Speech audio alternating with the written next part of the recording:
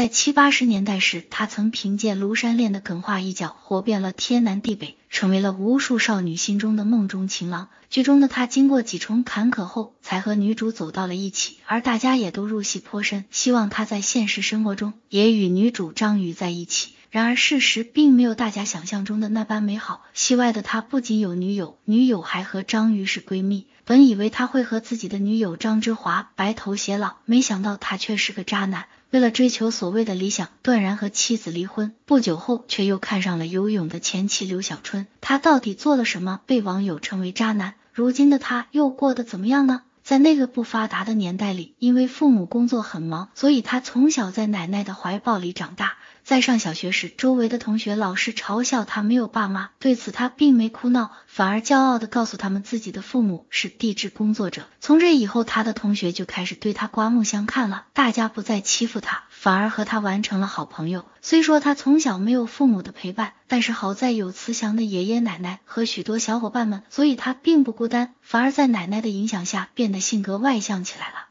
他的奶奶经常带他去广场上听戏，而他也因此变得活泼好动起来。久而久之，他便能模仿话剧演员给奶奶唱戏了。等到了中学的年级时，因为活泼好学、长相帅气，再加上口才好，他很快就在同学的推荐下当上了班级的文艺委员。正是这个经历改变了他后半生的命运。在校期间，他经常代表班级参加文艺汇演，担当主持人等。不久之后，他就成为了学校的文艺骨干。恰巧这时上海电影厂来他们学校招收演员，而他也在老师的鼓励下报名参加了。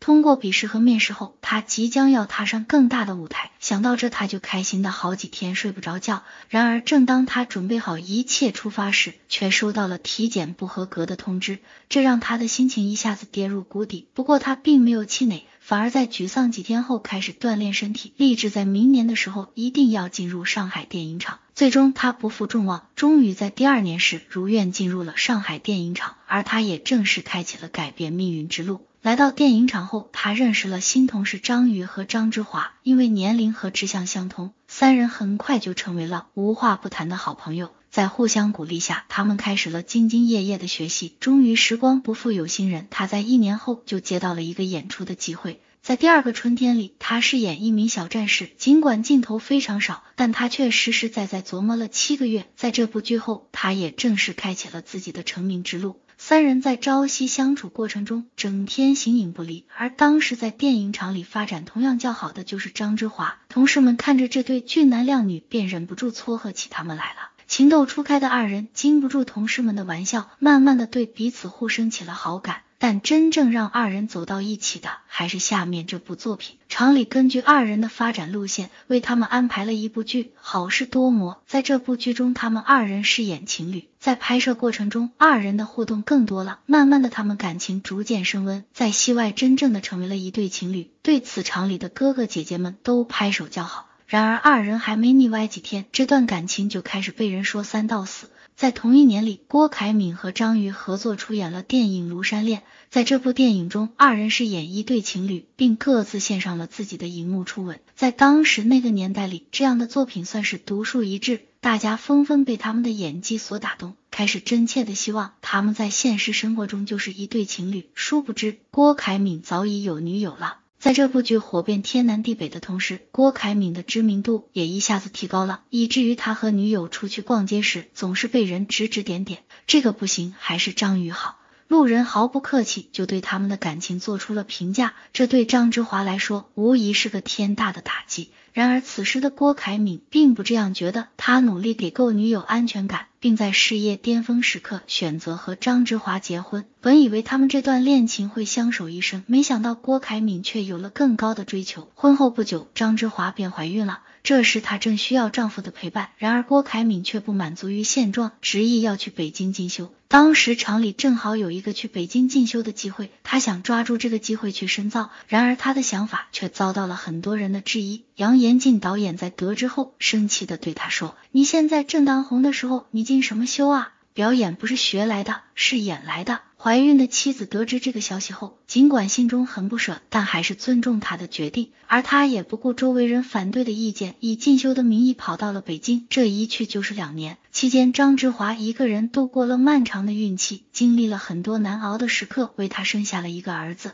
两年后，郭凯敏学成归来了，他们夫妻二人又重新走向了舞台。但是对表演有了不同见解的郭凯敏开始和张之华产生了分歧。他们甚至从剧组吵到家，在气头上的张之华也借势提出了二人不要在一起合作的请求。但是郭凯敏更加变本加厉了，他想从演员转行到导演这条路上，对此二人发生了剧烈的争吵。张之华认为他不适合当导演，所以坚决反对他的提议，但郭凯敏却一意孤行，开始自导自演起来了。看着一意孤行的丈夫，张之华感受到了前无仅有的绝望，他开始思考二人是不是不适合当夫妻。最终，他攒够了失望，和对方提出了离婚。二人仅仅相处了六年的婚姻就此走到了尽头。离婚后的郭凯敏没有了妻子的阻力，开始追寻起了自己的梦想。在追梦途中，他结识了同样离婚不久的女演员刘小春。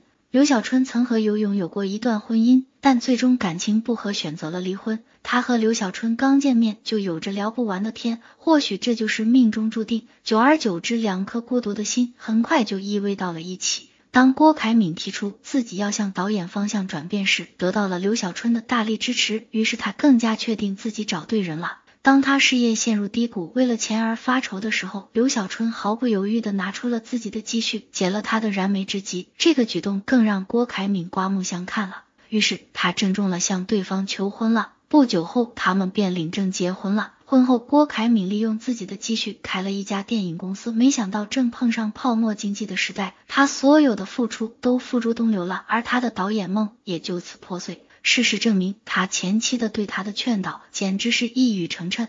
不过，这时他的现任妻子依旧在旁鼓励支持他。很快，他就从悲伤中走了出来。这时，他不再纠结于走上导演的道路了，反而做回了演员的老本行。不过，他却一直没有超越自己。被现实磨平棱角的他，打算重回演员之路。然而，想象有多美好，现实就有多么的残忍。在快速发展的时代里，已经有不少的后起之秀超越了他，而他出道多年，也只有《庐山恋》这一部代表作。于是他不得已只能重新走上跑龙套的道路。好在天无绝人之路，陈佩斯在看出了他的不易后，决定拉他一把。他在舞台喜剧托里面饰演了一个刚刚失恋的男人，虽然只是一个小配角，但是他动情的演出还是让台下的观众们哭得声泪俱下，而他也再次又被人们熟知了起来。他的妻子在看到他只能出演配角后，为他感到惋惜，但他却安慰到对方：“挺好的，我已经很知足了，能让你们衣食无忧，我心里总算好受一些。”可以看出，经过生活打磨的他，也早已被磨平了棱角，不得不为养家糊口去努力了。时至今日，我们也能从一些剧中看到他的身影，例如在《人世间》中，他饰演一个领导，虽然镜头不多，但还是被细心的观众发现了。